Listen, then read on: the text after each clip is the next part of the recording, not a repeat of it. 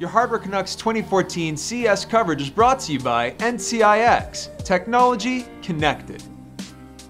Okay, so G-Sync has been announced with multiple monitors. BenQ is one of the partners that are sort of jumping onto this G-Sync uh, band. So right behind me, this is an XL2720G G-Sync monitor. It's a 27-inch uh, panel. It's a TN panel, of course, uh, like the rest of uh, G-Sync monitors. It is a 1080p resolution, so uh, we recently heard ASUS announce their ROG monitor that is a 1440p, but it is a very competitive panel, price to be announced, uh, and we're hoping that this uh, type of uh, shift towards G-Sync with all different board partners uh, from NVIDIA are going to have uh, very competitive pricing uh, because we know what the 1440p monitor is going to be priced at. So hopefully this is going to give us uh, sometime something a very competitive pricing. But as you can see, it is uh, running G-Sync at the moment.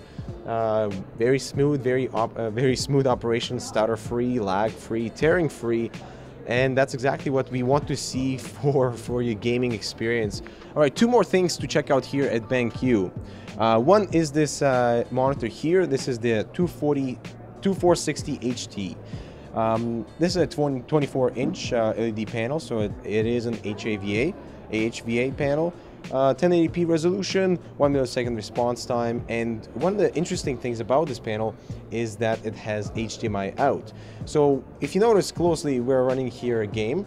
On the second monitor, we are running an HDMI out from here to HDMI in, in this monitor. This effectively gives you the same, uh, you know, it gives you two monitors running from the same, uh, same game here they have set up two consoles so you can compete. So you can basically looking at this monitor while this is while this joystick is connected to this machine, and this gives you that uh, advantage uh, for perhaps gaming, perhaps productivity. Uh, and so one more thing to check out here is uh, this uh, professional art monitor. So this is the PG2401PT. So this is a professional panel. As you can see, we have this nice hood with velvet uh, internals. It does come with its own color, color, color calibrator, and that's an awesome thing to see. This is a 24 panel, 1920 by 1200, the, kind of what we've come to expect from professional art monitors. And you know, if you're a professional designer who cares about a lot about color accuracy, this of course is very important. The hood, uh, the color accuracy uh, from it is factory calibrated with uh, delta uh, less less less or up to two, which is awesome to see exactly what we need to expect from a professional art monitor like this.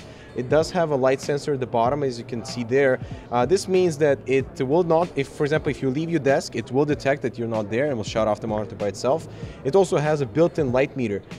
Uh, depending on what type of lighting situations you're at, uh, it will either you know bump up brightness or lower the brightness depending on the situation. Of course, that can be disabled if you really care about color accuracy. I would uh, recommend sort of disabling the auto brightness adjustment, uh, but it does have that uh, auto turn off feature in case you leave the monitor. So this is their uh, PG24001PT. Uh, it will be priced uh, competitively based on what else is out there for 24 inch professional art monitors. It's going to be priced, uh, I think, just under $1,000, uh, giving us the, the, consumers that color accuracy uh, and everything that we want from you know, a professional monitor like so. So this concludes our BenQ coverage here at CES 2014. Guys, don't forget to subscribe and like this video if you freaking love this panel. I do love that panel. But uh, don't forget to check out the rest of our CES 2014 coverage.